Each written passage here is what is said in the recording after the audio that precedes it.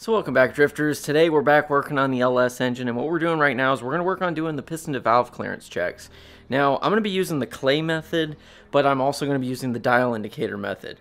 Now we're going to be using a degree wheel to kind of figure this out but basically it's just a simple way to check to make sure that we're not going to slap any valves like what we did the first time around which was not very fun but Luckily, these pistons got some cutoffs in them, so some little like valve reliefs, so we should have plenty of clearance, but we need to double check just to make sure, so that's what we're gonna do. So the first thing we had to do is get this here uh, degree wheel set up properly, uh, and I use this nice fancy little gauge measuring tool. Uh, it's just a uh, coat hanger that I kind of bent and held in place, but it, will do the job. What I did is inside here I put both of the solid lifters so that way we have them ready to go for checking.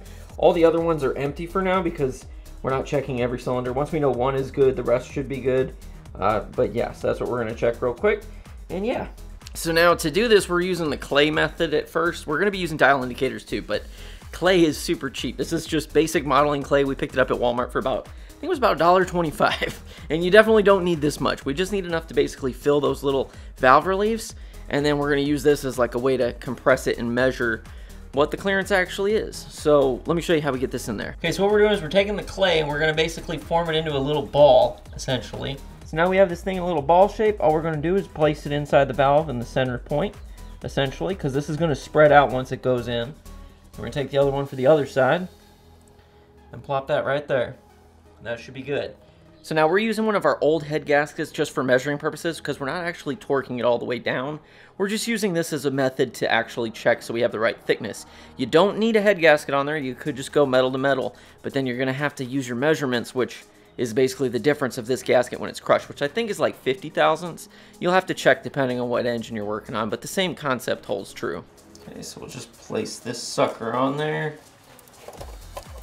Bing, boom. So before we do this check, we gotta make sure we lubricate the valves so that way the clay doesn't stick to them. All I'm doing is taking a little bit of oil and rubbing it on there, but you could use like WD-40 or something like that. Really not a big deal. And yeah, and then we can put this thing on. This part's always tricky. Basically, I'm just lining it up like you would any other head and just slowly putting it on there, lining up the dowel pins.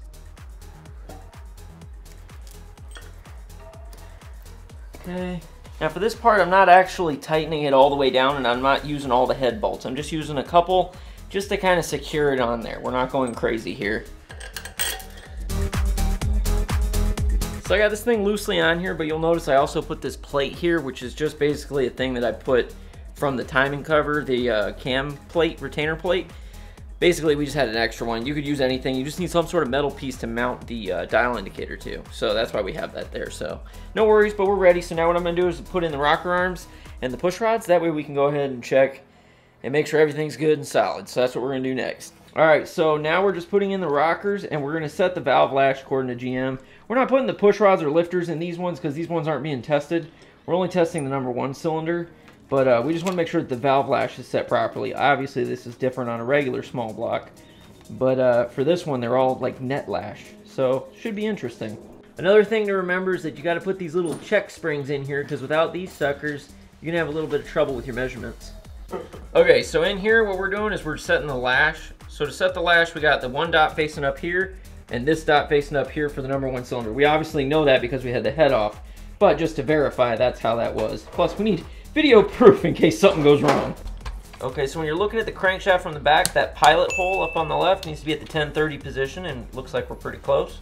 What we gotta do here is we're tightening the one and the seven exhaust, and then we're doing one, three, five intake.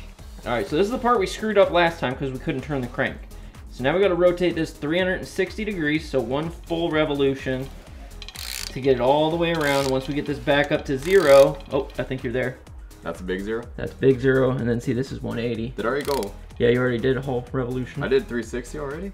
According to the wheel. Oh, fuck. So we managed to go a full revolution on there to get this thing set up, and now you can see that this cylinder is top dead. So we should be good to torque down the rest of the uh, little rockers on that side. Uh, so that's what we're gonna do now. So we're doing exhaust number three and five, and intake number seven on this side. So now we're pretty sure that this is what screwed up on the Corvette the first time we did it because we weren't able to get that exact 360 degree revolution and we torqued it down anyway. So it's most likely that is probably where our problem began. So, uh, because it's very easy to go over 360 if you're not paying attention. We almost did it just doing it here, and we even have a degree wheel on it. So, it, you know, you got to pay attention on that one. So, now that we got these things lashed down, the next thing we're going to do is we're going to turn it back over so we get back to top dead center for number one. And then we're going to pull the head off and check the clay and do all that and see what we're working with. It rotates! It's rotating and not Wow. hitting anything. Holy shit. I didn't know that was possible on the engine. Wow. I mean, we're only doing the one cylinder right now, but so far so good. Okay, so we got it all rotated around. So now what we're gonna do is we're gonna take the head off and inspect the clay. Okay, so we got the rocker arms off, and now we're just working on getting the head off. Basically, we'll just do that, and then we'll take a look and see what we got. All right, time to see what we're working with. Hopefully the clay doesn't come out with this. All right, cool. It didn't. Beautiful. Now we get a better idea of what's going on. Okay, so now what we're gonna do is we're gonna take a cross section of this and cut it with a razor blade, and then take our measurement. Here we go. So we're just gonna take this. We're just gonna carefully make a nice little cut, like so. I'm gonna do the same thing on this one. Boom.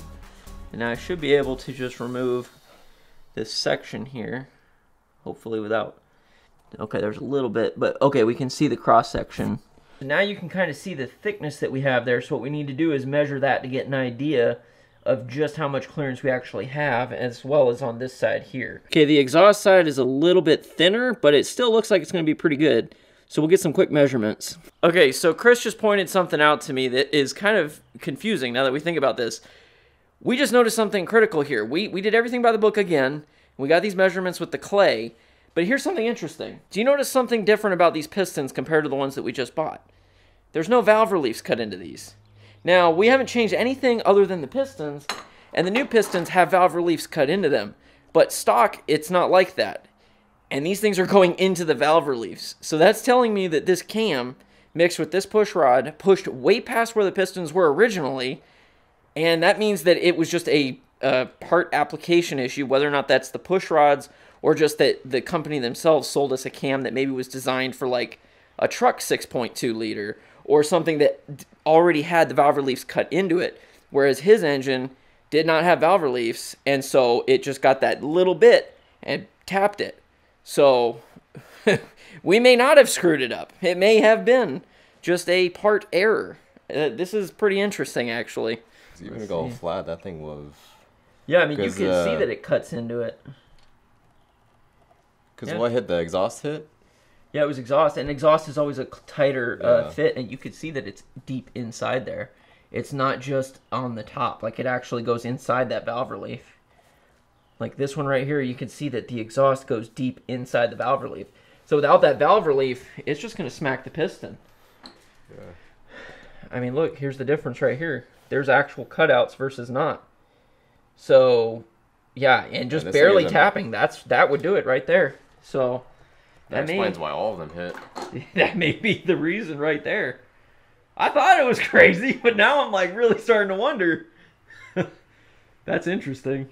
Okay, so we had to go to the store and get a micrometer because I can't find mine. Luckily, we managed to get one, and we're going to measure the minimum amount that we have in there for clearances. But uh, we took a feeler gauge and checked with that, and it was at like 106. So we're going to see what it is with a micrometer. But the minimum is a hundred thousandths for the exhaust side, which is the tighter side anyway. So if that one's good, then we know for a fact that intake's good. But we're going to double check it. But it's still crazy because this whole thing just goes to show that, like, no matter what, it's all about the part selection. And ultimately, if we would have checked the piston to valve clearance the first time, we could have caught this, but we were not planning on doing that because all these parts were suggested to have fit before. And we were like, okay, well, it must be pretty good. But I mean, still, when we. got some to do. Man, I'm telling you. But when we actually got it to rotate and it started getting stuck, we should have thought, like, oh, something's wrong here. But we didn't expect it to be where it was this far off. I mean, it was way off. We're talking like, even if you take this measurement, there's probably about 40 to 50 thousandths that go into the valve reliefs. And we don't have valve reliefs on the stock pistons. So, yeah, I mean, it's. It's just it's I I feel better because at least now I know that it wasn't 100% our fault. There it, part selection was ultimately the biggest issue. But yeah, what are you going to do? We're fixing it now, so it's all good. All right, so now we're just pulling out the old solid lifters. We're going to put in the hydraulic ones, and now we're just at the uh, basically rinse and repeat process. We're going to do the whole thing install both the heads, get everything back together, and uh, work on our final assembly. So yeah, let's do it.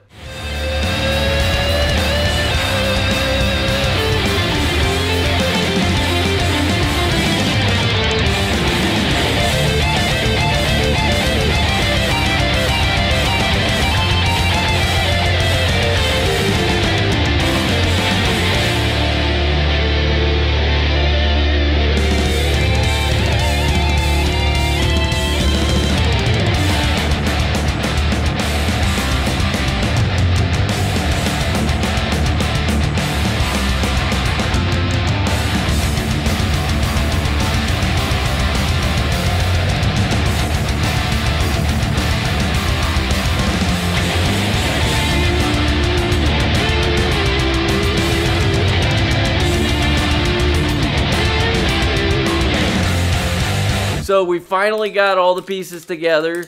We've got the valves lashed down and we're about to do our final rotation to make sure nothing's gonna hit and nothing's gonna contact.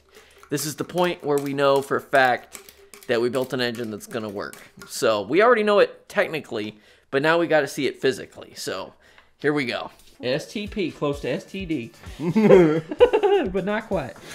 no STD never hurt anybody. Nope. Except Except for Al Capone. That syphilis got him. Oh, he did die from syphilis. Yep. Well, you think Al Capone that would have been in the like 1920s, right? Yeah. I don't think anyone was using condoms back then.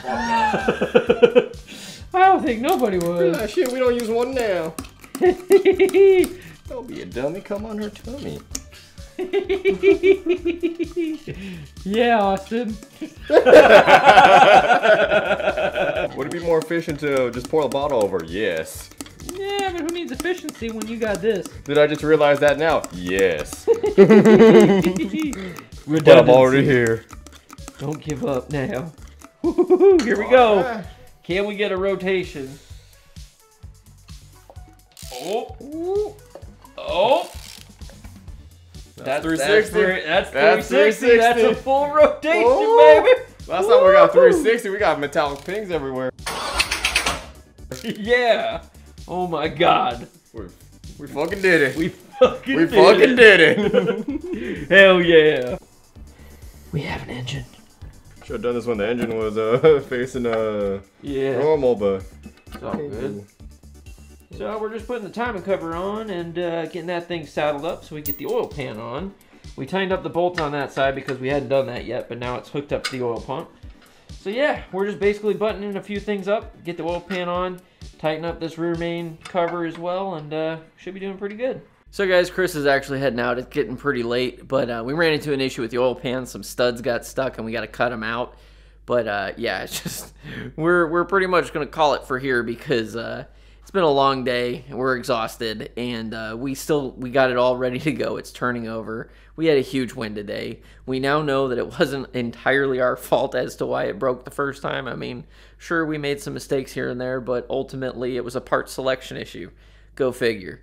But yeah, I mean, we're just we're excited to have this thing done. So we're looking at hopefully here in the next couple days we're going to finish getting this thing together and putting it back into the Corvette.